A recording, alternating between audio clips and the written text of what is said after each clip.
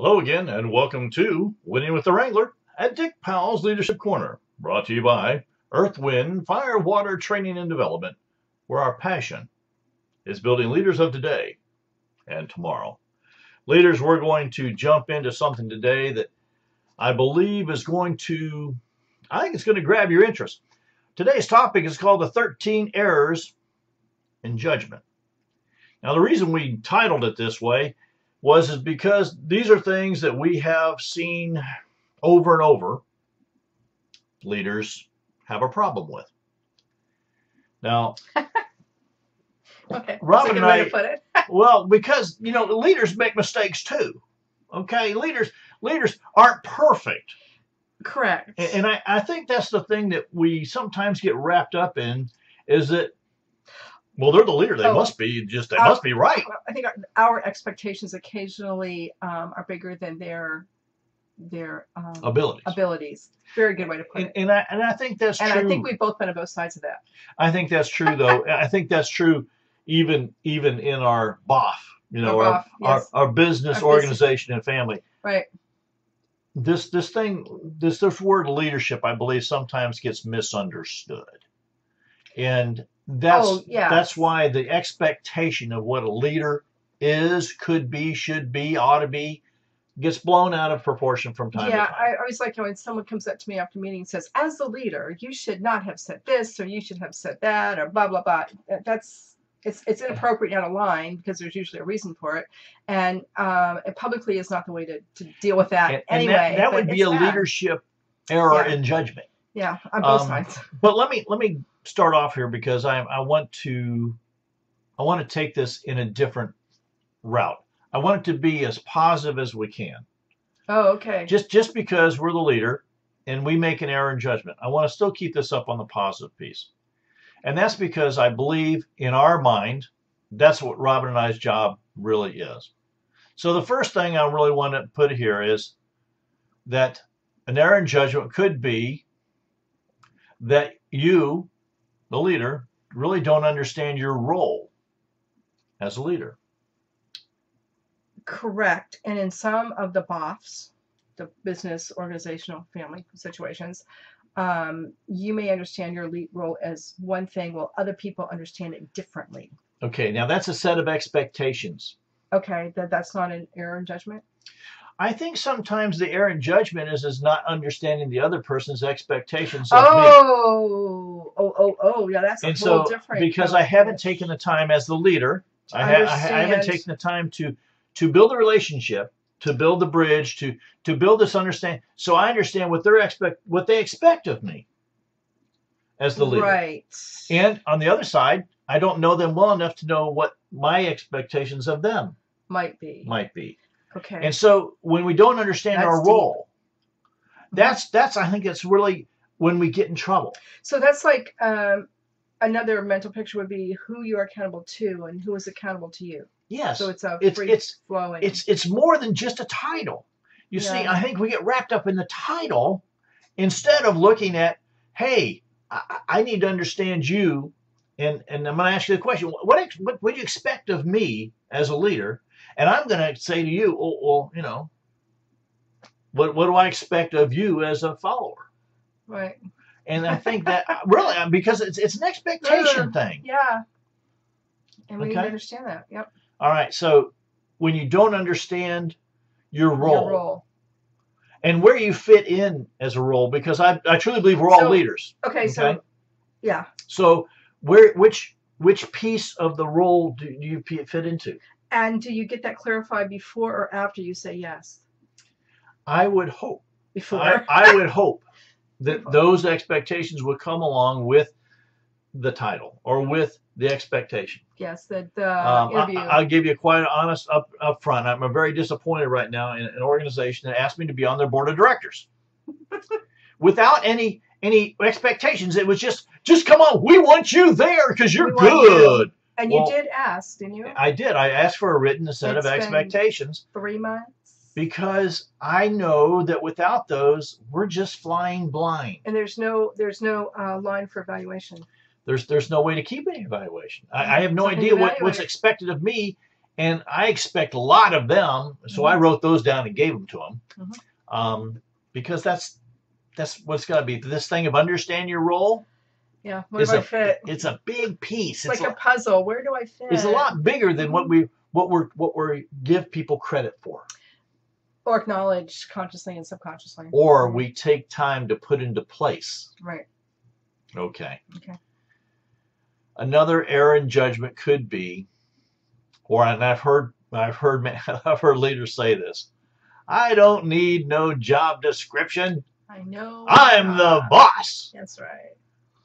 Um, quite frankly, leaders, if, if you've ever heard yourself say that, I want you to go ahead and pinch yourself on the arm and say, Boy, was that an error in judgment.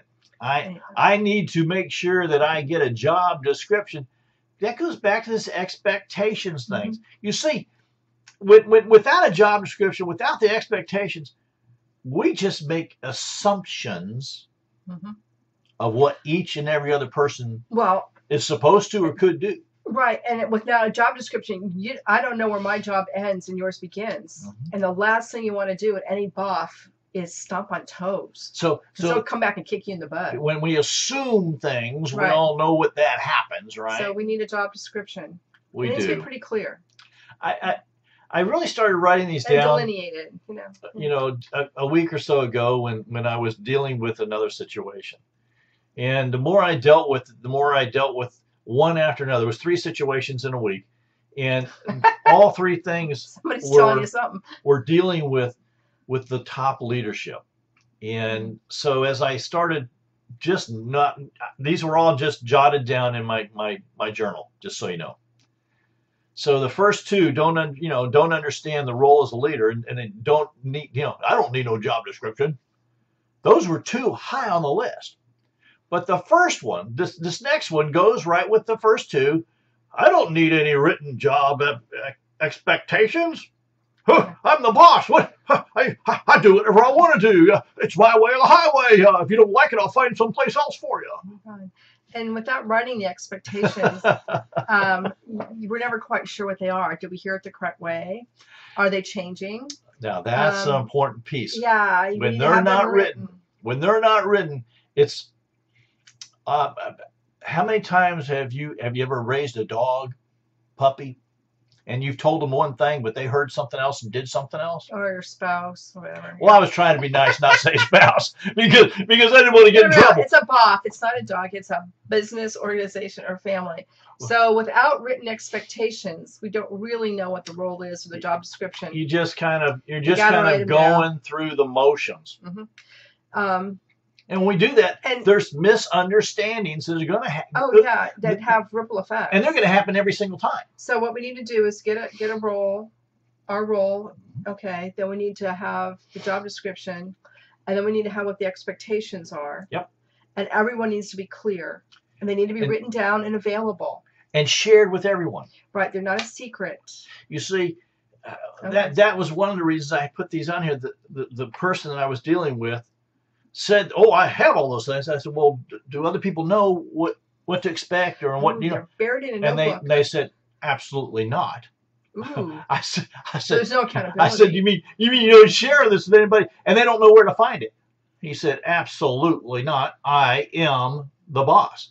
And and yeah, I, I, would I- not be part of that. and. I, I thought to myself, you don't even hear your he. Do I don't think he you really heard himself. I heard you say? Yeah, I don't think he really heard himself because he just kept going on at that same thing. Is that that was that was negotiated between me and the people that hired me. That was negotiated, blah blah blah. Uh, and he really felt that that in his what his words were, the the little people didn't need to know that.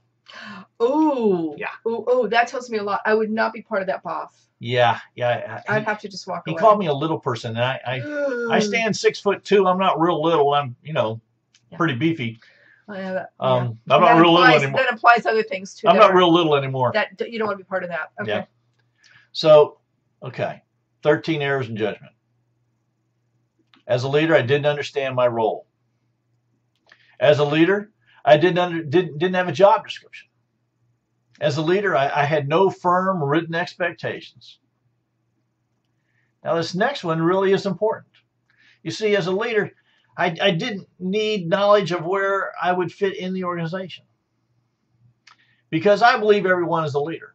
And I believe everyone has a part to play, a piece to add in an organization, in a BOF. If you if you don't know where that's at, you cannot make good leadership decisions. And you can't keep your mouth closed when you should. Okay.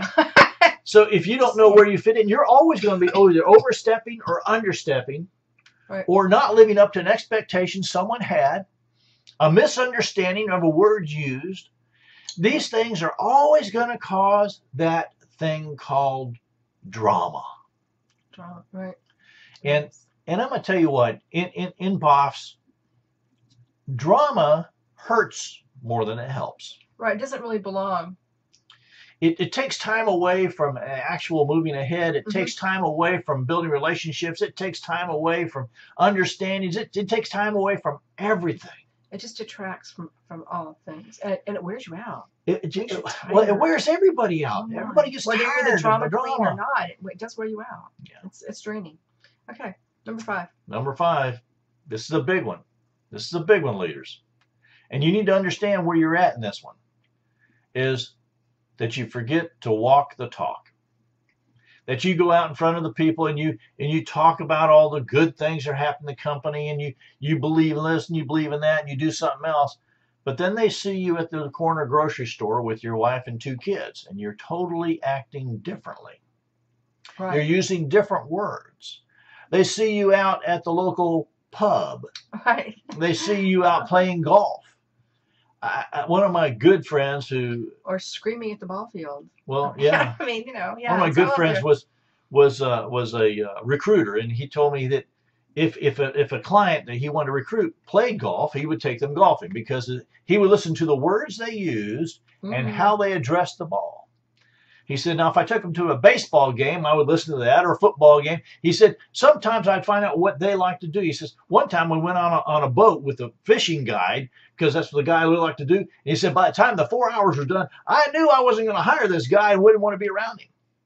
But he was totally different when he was in the office. Oh man. So walk the talk becomes a huge piece. Mhm. Now, I will tell you, I think you need to be yourself. I don't think you can. I I don't your think. honest self. I don't think you can fake it till you make it. No. Uh, quite honestly, there, it's there's, too there's, a- much work. there's an organization that that is is uh, is a networking organization, and, and their, their their chief advisor always tells everybody, just fake it till you make it. Well, I'm gonna tell you what, you fake it, It's and people, people are gonna know about it because they're gonna read you pretty quick. And an error in judgment, that's an error in judgment. Okay, I'll get off that soapbox. Number six. Number six, Robin. Oh, I'm six. I didn't know that. Okay. Of the 13 errors in judgment, number six is uh, an error is you do not delegate things that can be done and should be done by someone else. Right. Leaders must delegate. You cannot do everything. You shouldn't be expected to do anything. You need to understand the more people involved, the more people involved. Um, But what's the unwritten message you're sending when you don't delegate? that no one is qualified or as good as you are. Right. um, and I've been in organizations uh, or you know small teams within an organization where the person in charge put me at one point in charge of something and then told me exactly how to do it, when to do it, how to do it, and gave me all the paperwork. um, that that is an honest truth. Uh, I thought, man, I've known her for years. She must not know me very well. She doesn't think I can put this little whatever the activity was together. And this is not the way I want to do it because it's been failing. Um, Okay. so again, you got to delegate, and you have to give people. My my saying is, you delegate and make people do the job. You don't step on Well, you them hold do them it. accountable. Right, you hold them accountable. But Don't you, make them, you hold them accountable. well, they It's just- understand make them better than accountability. Those, are- those are big words. So it's like I'm going to give you a job. They don't expect you to do it. I'm not Right. going to step on your toes. I'm going to tell you how to do it. If you have questions, please ask. If you need And- help, ask. But you're in charge. Take charge. That's how we build leaders. We And- grow and the- them. And I'm really serious. If, if you don't give them the chance, if you don't delegate, if you don't give them the chance, they're always going to be sitting back there wondering why. Right, and they and- don't feel part of it. And they're going to ask some questions, and they're not going to stay around. no, they're going to be gone. They're to, they're to they're not going to, you know, why, so why, all their why, why would you want to stay if you were never being a part of something? So delegate, okay? and everything else? Right. All right. This next one, number seven of 13 errors in judgment, really goes as you, you don't have a clue of what motivates you and what motivates those around you. That's pretty basic. This, this, this is huge. Leaders, if you, if you don't understand what motivates you, that's one problem or opportunity. But if you don't understand what motivates the people around you, I, I, I, I've worked for people who thought money motivated. Money didn't motivate. It motivates some people. So for, for me, many. you could motivate me with a cup of coffee in a few, a few minutes where I Um, could discuss something was going on at the company. sometimes the, the motivation is just like, thank you so much for doing a good job of whatever. You see, and, and that's an easy piece, isn't it? Yes, it is. But you also have to understand that different personality types have different motivations. That's why you have to know your people. you have to know your people, and sometimes the little tchotchke prize at the end of whatever the pro- the job the task they Yeah. accomplish is not a motivational thing for most people. We're learning that in one of my organizations right now. They don't care. I, I remember when we first got into Boy Scouting. Oh, If you yeah. if you went anywhere as a, as a leader, you got a, a, ceramic mug, and we we've got a cupboard full of them. and we were very intentional for two years about collecting those those mugs. Let me tell you, right. you go to an event and you get a mug, No. but after a while you're like, oh crap, I have a cupboard full of mugs. What do I do Um, now? Well, now what do I do? Right. Um, and So, again, know- positive reinforcement. know what know what motivates you first. Right. okay and then build the bridge build the relationship Mhm. with the people around you that surround you so you know what motivates them and make sure the basic motivation for most people is a public thank you. amen That's it. Thank I- you I so much. i agree Goes miles. you, Goes you, miles. you can send a note or put a note on my Notes are I- I'm, nice. I'm a happy boy uh, like I said, sometimes the, the little present at the end is nice, but it's not necessary normally. depends on the person Depends on it and is. that's where you need to know Um, but but but you need to you need to you need to motivate. I'm, I'm laughing because I'm looking ahead at the next one here. Oh, okay. I, I'm not I'm not not laughing at anything else. Oh, this is very different. But number eight, it says, as the leader, well, I, I don't need written, well defined goals. Um, what I'm hearing here is a lot of things need to be written down and tracked so we can keep track of them. I would- Everybody needs goals. If you don't you- write them, they're not a goal. if you don't write them down, it's a dream. And, and, and I would never poo on anybody's dream. But you know what? It's out there. If you write them down and you share them with people, you never know who's going to help you with that dream. and then they become, they become See, see, you know, it, it also is, it's accountable and it's also um, um, trackable. Mhm. You know, it's all those different parts and pieces. So defined goals are, are super duper important. As for your person, for your place, I mean, it's it's just super For your duper. boss. Uh, yeah, for your boss. I, I just think it's so important. Uh, there's there's there's goals back there on that whiteboard, just so you know. Yeah, but you can't read them. That's probably a good idea. But we're still accountable to each other. We are. Okay. Number nine. Oh yeah, that's a hard one. I mean, Sure. um, you can't be everyone's best friend. Why not? and the entire BOF. You cannot be your children's best friend from the F part of that, the family. You you. cannot be your child's best friend. You have to be the parent. You cannot be everyone's best friend all the time. You can be a good friend, Mm-mm-mm. but no one can have that many best friends. There's a difference between a best friend and a good friend. a good friend. So you can't be everybody's best friend. No one has that capacity, believe me. But you can be a good friend. And sometimes a good friend is um, holding people accountable or hit, talking about the tough subjects. Might even tell like you when you're messed up. Yeah, calmly. Um, even not, you remember, know, a best friend is not going to criticize publicly. They're going to do it in private. and, and that's a huge and they're one. not going to talk about it. That's a huge one. And They're not going to Um, gossip about it. Right. I, I love what what uh, one of the major players in the in the leadership group says that uh, there is will be no gossiping in his company. That's right. It's, and many, many, many companies, that's grounds for firemen. Yeah, he, he gives everybody Um, one chance, but after that, you you no are let go. There's no gossip. Yeah, so you can't be everyone's best friend, but you can be everyone's friend. Make sure when you're leader, you don't gossip. I think there's. It's I think- hard. it's very I hard. think for me that's that's the thing. You can't be everyone's best friend, Mhm. but you can be You everyone's. can be everyone's. friend. You can be a good friend to everyone. Yeah. I, I think that's the way I like to put that in there. And they'll be a good friend to you too. Yeah. So number 10, 13 of the 13 areas in judgment. As a leader, I can be totally hands off. I Well, I don't have to do anything. I'm just the figurehead. Everybody else is going to do everything. I'm not accountable to anybody. Mhm. Yeah, it doesn't work.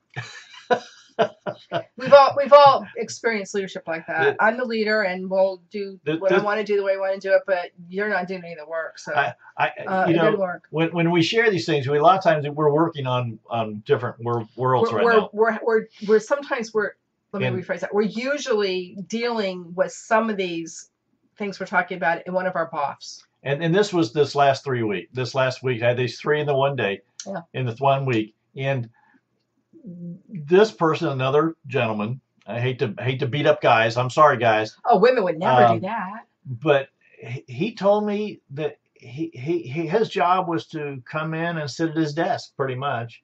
I mean, Was he the receptionist? No, he was he, asking. he was the owner.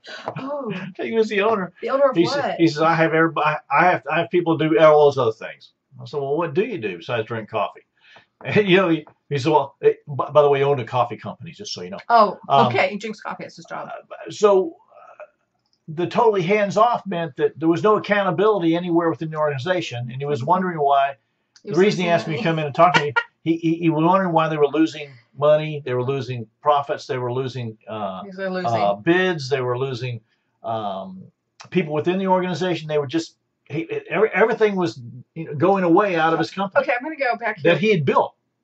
uh, um, this is number 10 out of 13. So I'm assuming he didn't understand his role as leader. He did not have a job description. He didn't have firm written expectations for himself or anyone else. Um, he didn't really know where he and everyone fit into the organization. He didn't walk his talk, whatever that was, because we don't Yep. know because nothing was written down.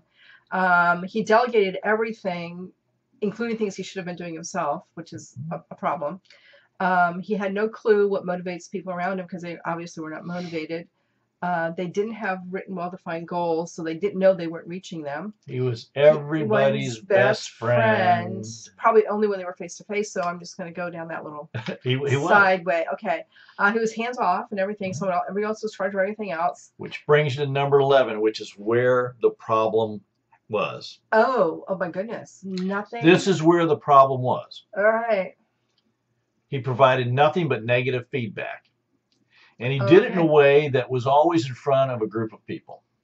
Even when I was in his office sitting there, a person came in, described a situation, and immediately he lit into this negative feedback. Then, when we went out on the floor where they were roasting the beans, Mm, which yummy. wonderful smell, by the way, um, the he had nothing but a negative comment to each person on the floor. You're not fast enough. You're not good enough. You didn't sweep up. There was no positive reinforcement anywhere. Okay, so this is an older gentleman. He is. He's. Been, he's been involved. I'm thinking in a few different businesses over time. he has. He And was he in charge of those, or did he work for someone? He was actually ran them. Okay, so I'm going to go out on a limb here as a mommy and say that's the environment he grew up in. For me, when, when we went back to his office, and I, I said, "Can Nothing I can I close the door?" You know. Um, I, Ooh, I, I said, meeting. I said, you're you're really coming off as a bully, and Yeah, not a too. And and I said, I, I really feel bad about giving this this negative feedback. I said, but But I'm going to be your good friend.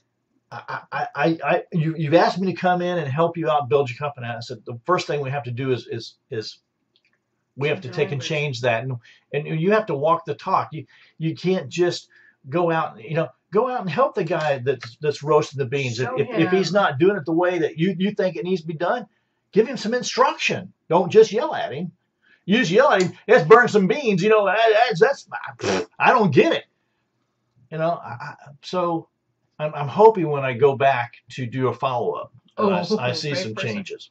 Yeah.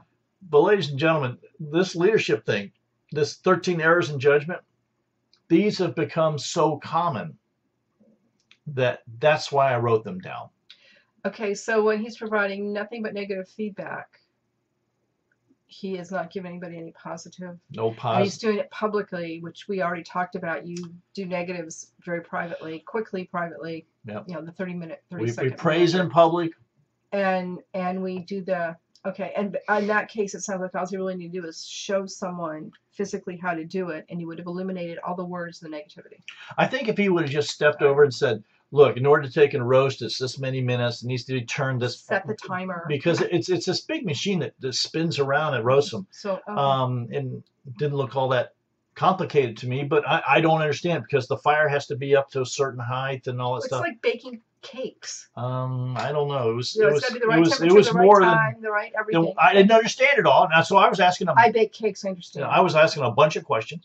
Okay. Um, and and the young person that was running it was excited to tell me the answers. oh, so they You see- know. Okay. So I think we with with with Wow. neg- negative feedback, ladies and gentlemen, when it's all negative and it's all public, It's very, very bad on many, many levels because everyone hears it and they know, and you've already you, you've already You blown already your spread you, you you've blown your your- trust. you spread your leadership judgment. You just killed it. Yeah. Okay. All right, number 12. Never making time for your team. This is huge. Yes. And do we make that be the regular time or is that necessary time or both? Yes. Okay. One of the best things I ever learned was was from a gentleman when I was he was grooming me to be the director of, of an organization and, and he would tell me all the time, you need to take make sure you make time for each of the instructors out there and also make time for them as a group. Right. Um, and once group has to develop also. once a year he would we would go away on a group oh, I remember thing. those. Those were great crafting weekends Okay. for Robin. Oh, they were great, wonderful things for us. And then in between, he always made time to, to take and be Yeah. with you. And it was such a great learning tool that I, I kept it and put it in place when I became the director. But the error in judgment is when you get so wrapped up into your organization, into your BOF, that you don't make time for other people inside it. Right. What they see and what they understand is, is that they don't matter In, as, as, as, it's, it's, individuals. it's a right. silent it's a silent signal but when they get it that they don't matter that's how they respond Yeah, they don't care then. I mean, you know, you know, you know it's it's it's that whole thing is well why should i do a good job if they don't care they don't care. Why should i show up on time if, if they don't care? Mm-hmm. you know it's all these different parts and pieces that go back to this not having expectations and the job description and and all these other pieces that go in here. And I can I can think back on life and know there are times when worked for worked. I did work a few times for people or been involved in organizations Mm-hmm. where that came across that they really don't care about you. You might care about doing a good job, right showing up on time and doing your work, but they really don't care about you. It does come across. right Uh, whether you stop and think about it, evaluate it that way, or it just sort of percolates. all right number 13 errors in judgment Oh yeah, this, This one's one. important. Rushing through the recruitment and hiring process. Can't rush that. This is one you needed to really take and take some time with. Now I know there's a bunch of HR rules, so make Mhm. sure that you're you're you're, you're sticking to the HR rules. But you can, with the rules, you can take and ask some questions of the individual. Now here's what I'm going to really encourage you to do. Make sure you write down those questions. Make sure that you write down the answers. And at the end of the conversation, both of you sign and date that paper. Right. Correct. Because if you are actually hiring a person and you, there's an interview process, and there should be a process, and it should be the same for everyone. That that includes business, your whole BOF. Um, you do with your pr- prospective children-in-law or whatever. Um, we didn't think about that, you know, 20 years ago, but now that that might not be a bad idea. Go, but go through that process so that everyone understands everyone else. Right. They understand everything that we talked about, the roles, expectations, the responsibilities. Again, the entire BOF spectrum, um, and get, get everything on the line and be honest and make sure they know that um, they need to answer honestly at the beginning and not just give me the right answer for the question. It's more cost effective to take a longer time to recruitment and hiring than it is to take and go through the letting go and restarting over. Again, when Dick talked about uh, the hiring guy who took people, you know, people to a football game or, or fishing or whatever, that's a social situation, and it tells a lot about people. I know we're in a buff situation right now where if the person we hired had been honest at the At at the dinner, he wouldn't have taken the job. Yeah. Um, Well, I see we're running down there like usual. On behalf of myself, Dick Powell, and Robin Tow- Powell, and the whole Leadership Corner team, we want to say thank you for being a part of today's program. Our hope is that you've received a nugget of wisdom and guidance that will help you build your leadership ability. And if you have any questions or comments on today's program, send me an email, dick at leadershipwrangler.com, dick at leadershipwrangler.com.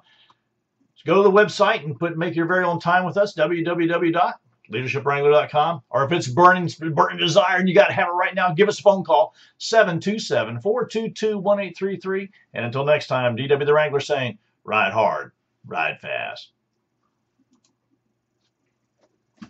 See, I told you we'd get 30 out of it. That was a good one.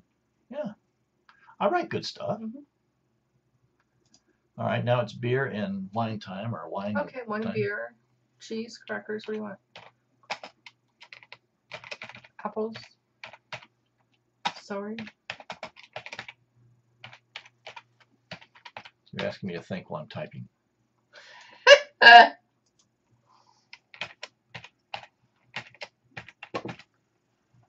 Um,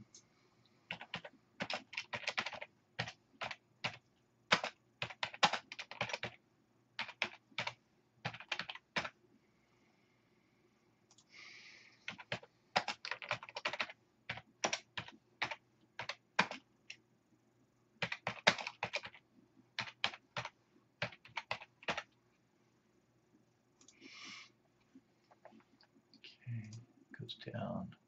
I'll pull those off later.